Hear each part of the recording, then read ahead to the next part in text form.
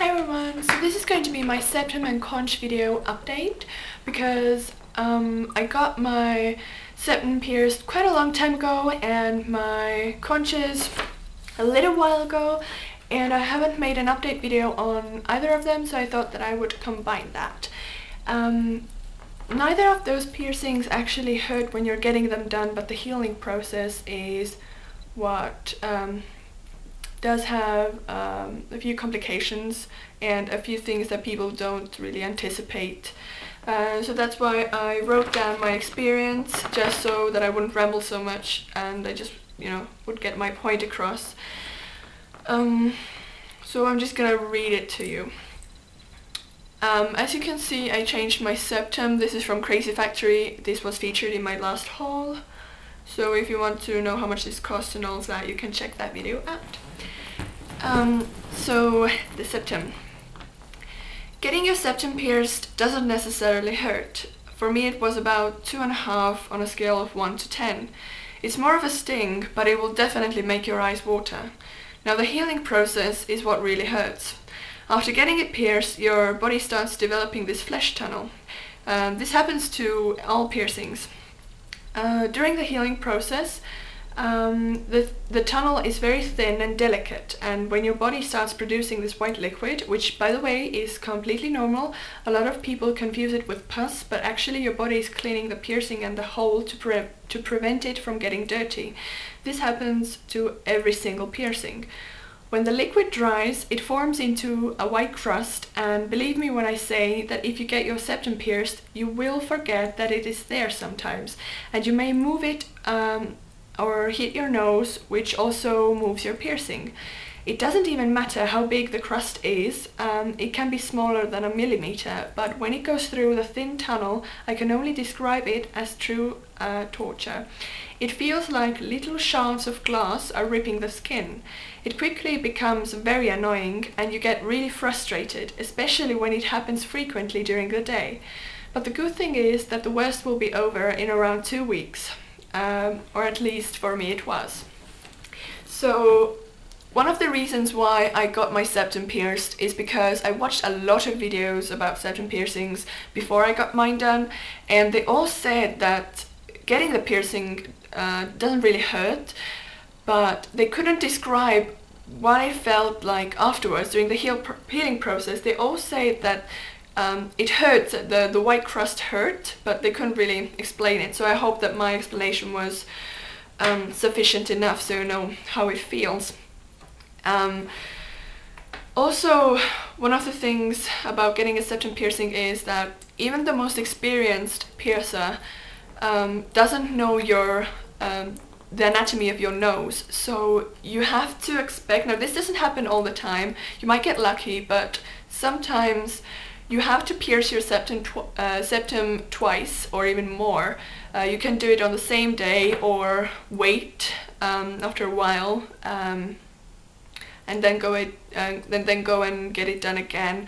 But the piercing may come out crooked. Um, my my nose um, actually isn't very septum friendly. I found out I got my septum pierced two times uh, and I have posted a video of that. But um, I got mine done by a very ex uh, experienced piercer, but I guess, yeah, my nose just doesn't really like a septum piercing. Um, and mine is a little bit crooked, but um, only like a trained eye can see that.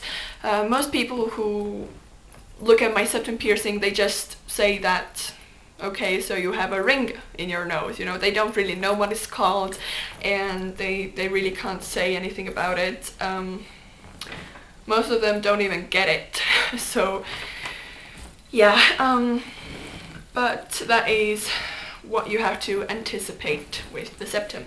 Now I'm gonna go to my conches, which I'm gonna show you if you don't know what conches are. Uh, conches are these piercings here. Okay, so gotta read it now.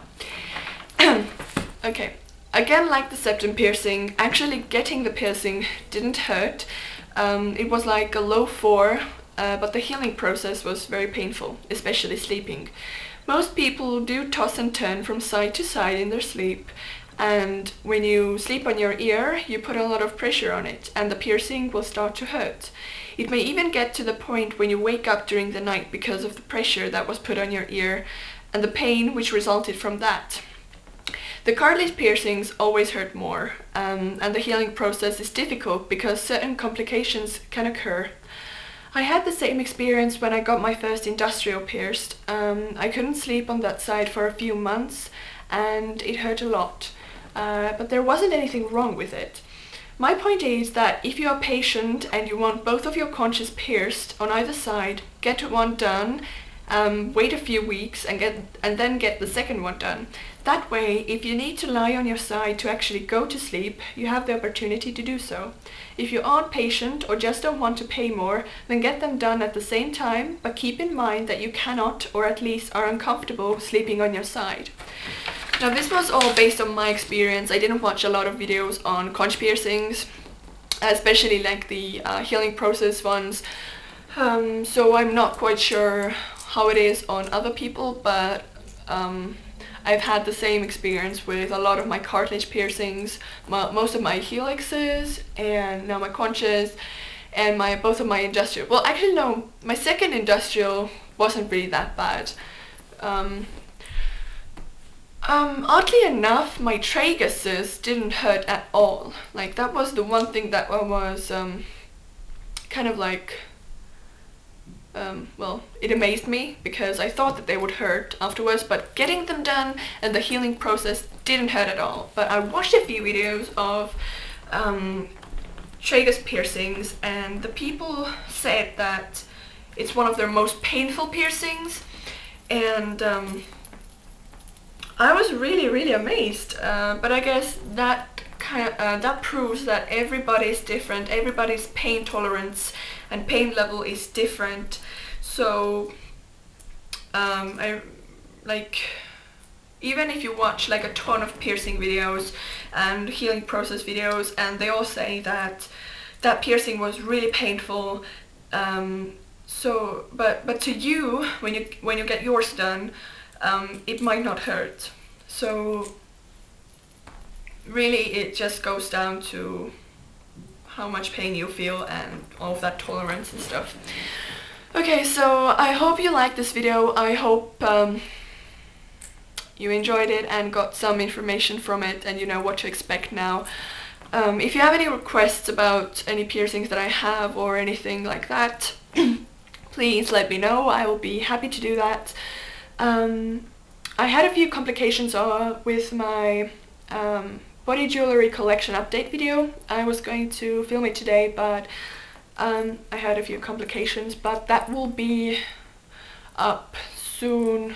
I think next week or the week after that. I, I will do that and yeah, so I guess this is it. So bye!